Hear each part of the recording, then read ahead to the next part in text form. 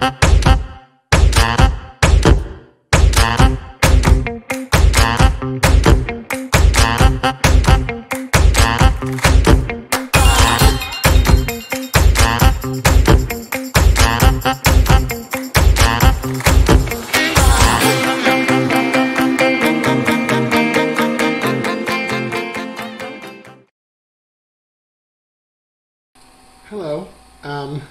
my name is Tony Springs, and I am a graduate of Northern Kentucky University. I'm also a Cincinnati native, born in the West Side in Westwood, and um, grew up in Colerain Township. Uh, even though I'm not from Kentucky, I did go to NKU, and I graduated in class of 2009 from at that time it was the fine arts department uh, the department of theater and dance. I had my bachelor of arts in theater arts with a minor in dance.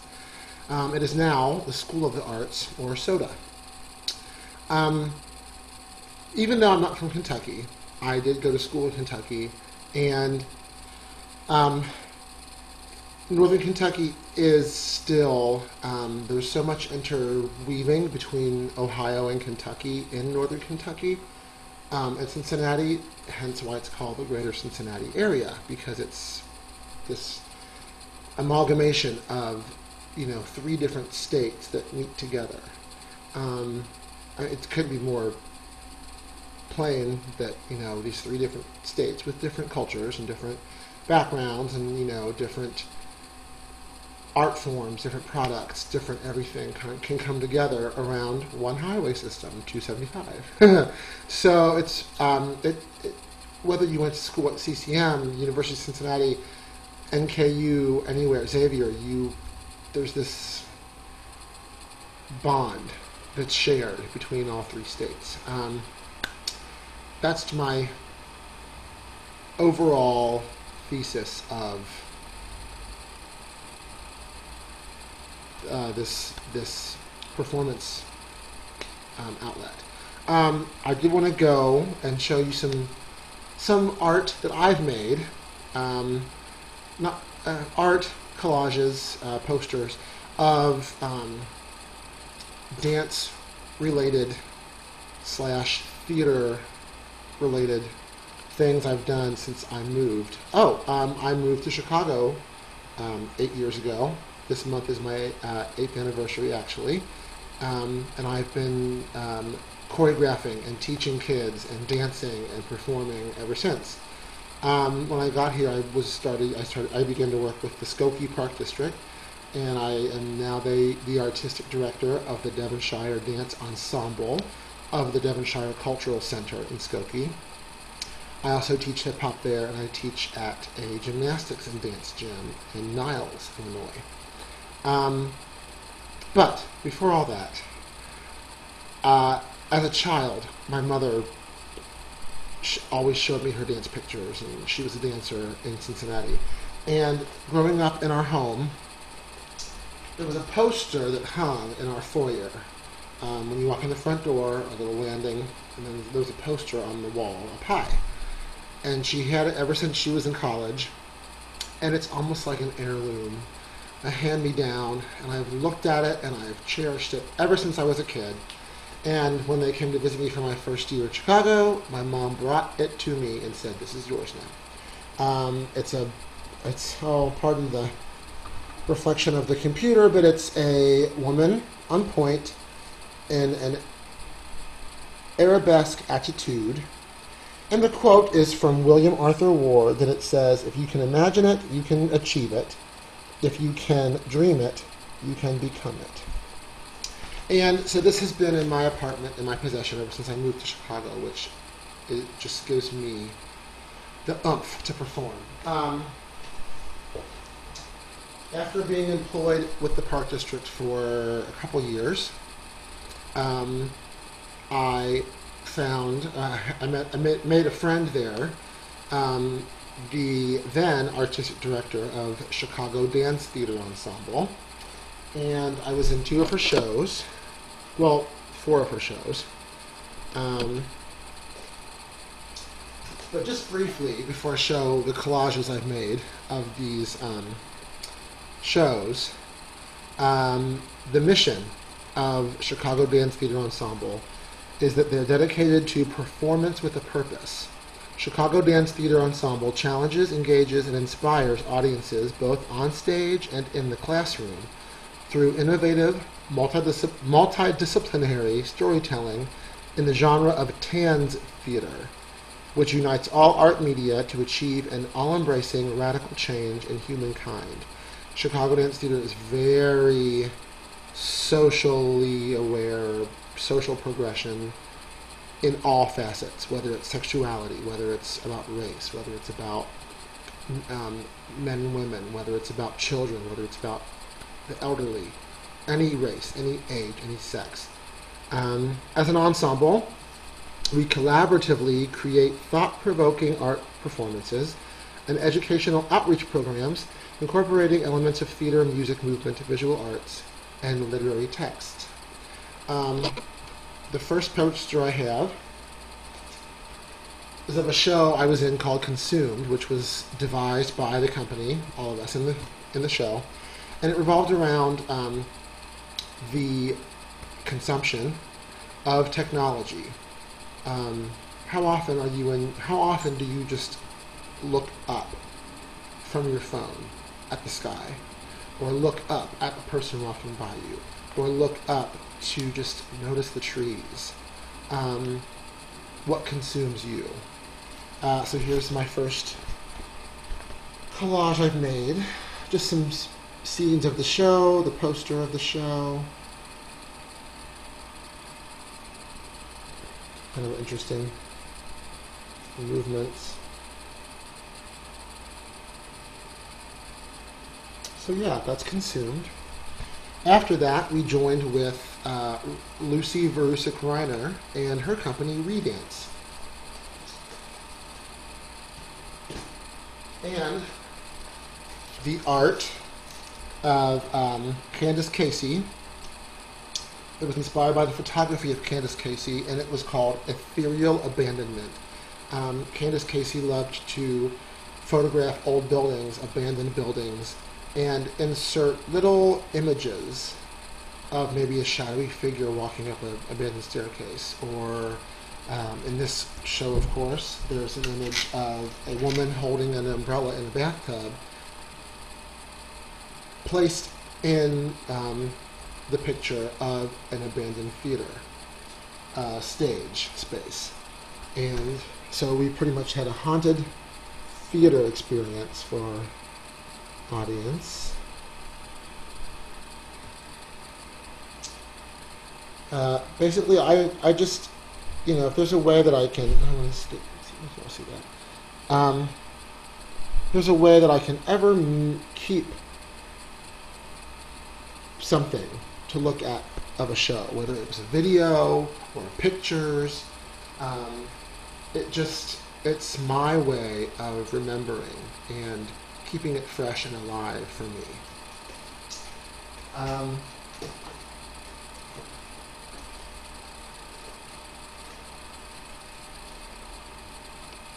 I think that's basically it in terms of um, my background. Um, but overall, just you know, I'm not a I'm not a pure Kentuckian, so I I don't have the old Kentucky home feel, but there's the same feel that Cincinnati has, um, which is just as beautiful as Kentucky. Um, that brings us together and that makes us unified. You know, um, there are several state borders that you don't really cross, not because of hatred or because of prejudice or because of anything else. It's just they're so different. Well, you know, I've had friends who were born in Kentucky who went to school in Ohio, and who friends who I knew who were born in Ohio who call Kentucky home now. There's this interweaving, and every community, every city, every area, you know, they have that bond, um, or, or at least Kentucky and Cincinnati do. I think, I believe.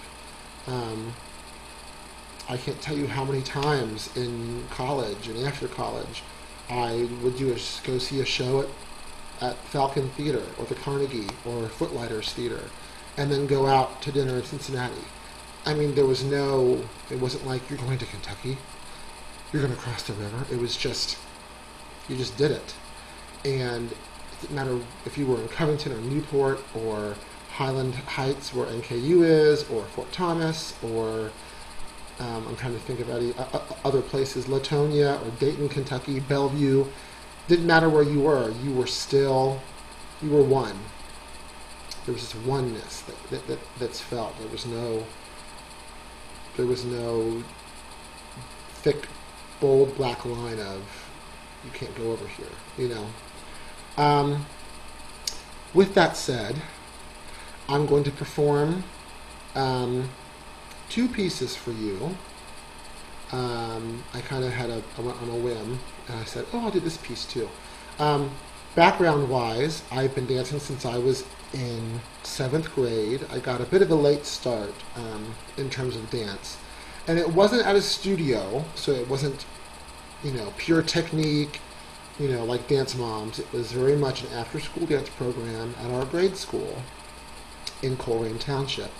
And that's how I fell in love with it. And I'll never forget, I put my first pair of tap shoes on, and it was like magic. It was like, oh, I've got these tap shoes on. And I we did Sing Sing, Sing Sing Sing by Benny Goodman, and um, my mother just was in the audience weeping. She was just, how did you do those steps? And I said, I just watched the teacher do it and I did them.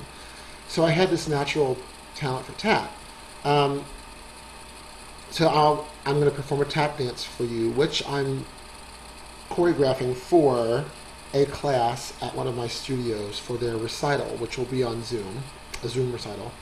Um, so I'll perform that for you, and it's also to sing, sing, sing, which is kind of like a, I've come full circle, and um, um, it's like a little remix version of it. It's kind of funky. Um, and then I'll be performing sort of a contemporary lyrical piece to uh, Let Go by Frau. Okay, pause while I put my tap shoes on.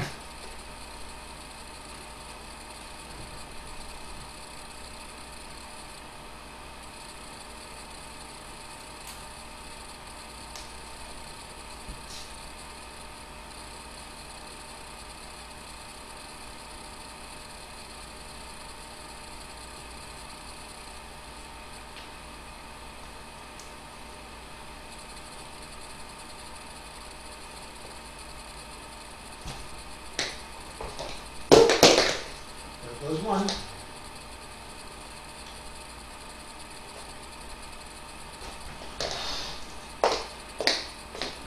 Okay, bear with me, my floor is rather slippery. and uh, tap shoes, as you know, are slippery as well. So, without further ado,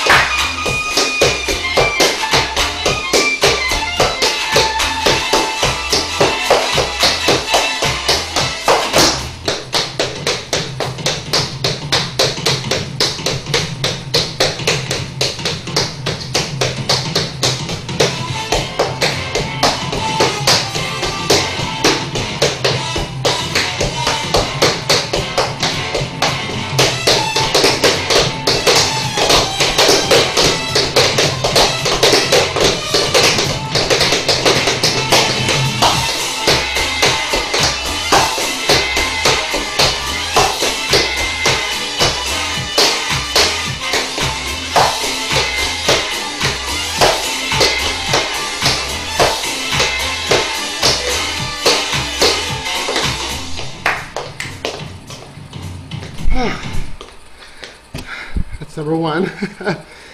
uh, little sing sing. Um, I feel like the tap is a lost art, art form in dance, or a lost style of dance, or not as popular. So it's hard to find students to teach tap to because now it's hip hop and now it's contemporary and different forms of jazz fusion and modern lyrical fusion, things kind of like meld together. Um, whereas years ago it was very specific styles. Um, okay, the next piece is um, a contemporary lyrical, as I said, fusion. Um, a contemporary lyrical to Let Go by Frau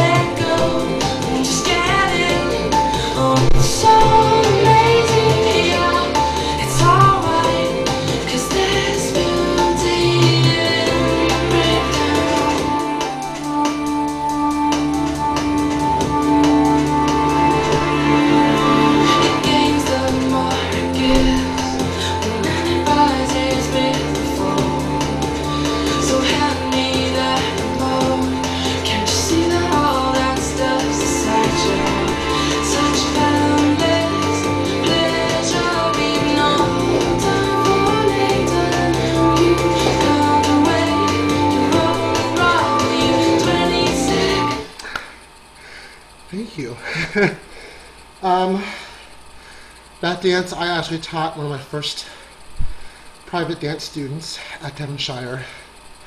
Sorry, when I first moved here. Um, and it was pretty inc- incredible because it was the first time that I was able to um, sit down and like take choreography that I've learned from different teachers, different friends, other artists, and kind of get my own. Um, I have a friend who says, um, uh, kind of iffy with certain artists, but good artists borrow, great artists steal. Um, you know, you only create what you have seen, what you have experienced in yourself through your teachers, through other colleagues, and I just took those as my own. Um, lastly, because I um, said I would, I will teach a small jazz combination. Um, I taught this to a high school group in Columbus, Ohio, when I was choreographing their production of a chorus line. And um, I did like a master class for them from one of my college friends. Uh, so, if you'd like to join, whether you're a dancer or not, get up because my motto is any movement is good movement.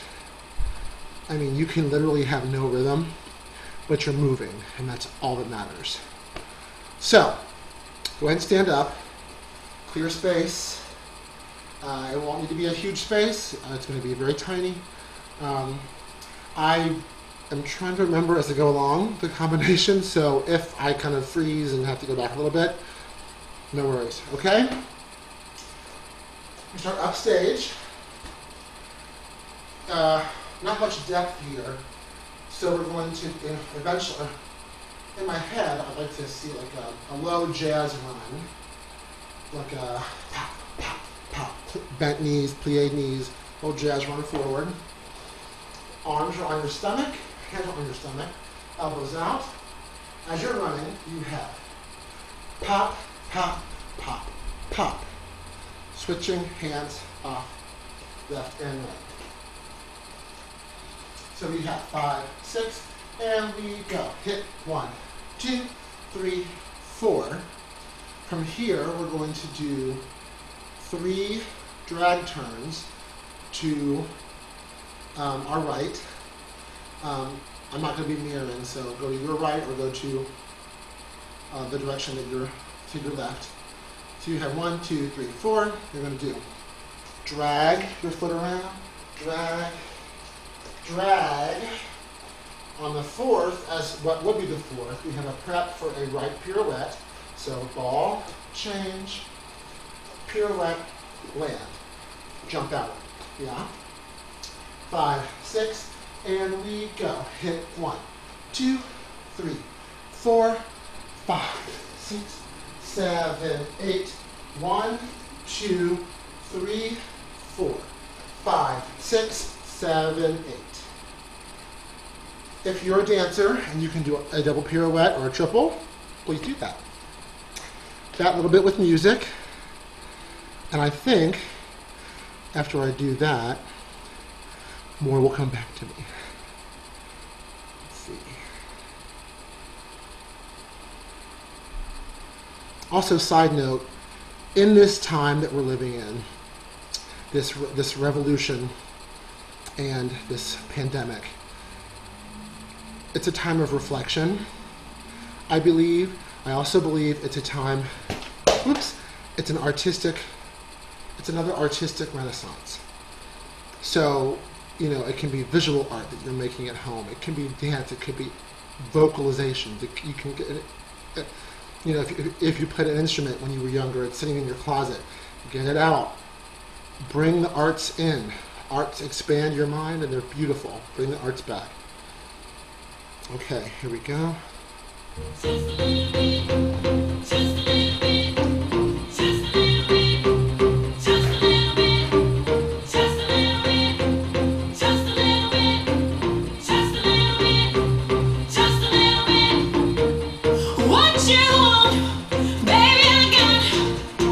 Starts a little bit later in the song.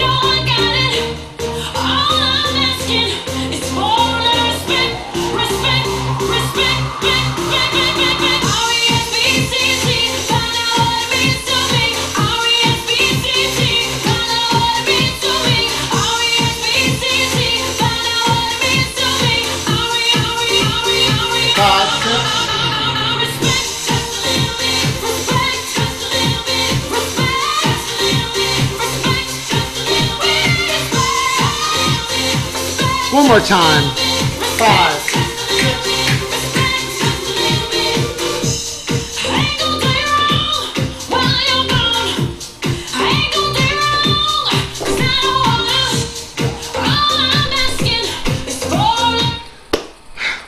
Unfortunately, that's all I remember. so, with that, um, I thank you very much um, for this performance opportunity. Um, enjoy the rest of your quarantining, um, protesting, all the above. Keep the arts alive. Thank you.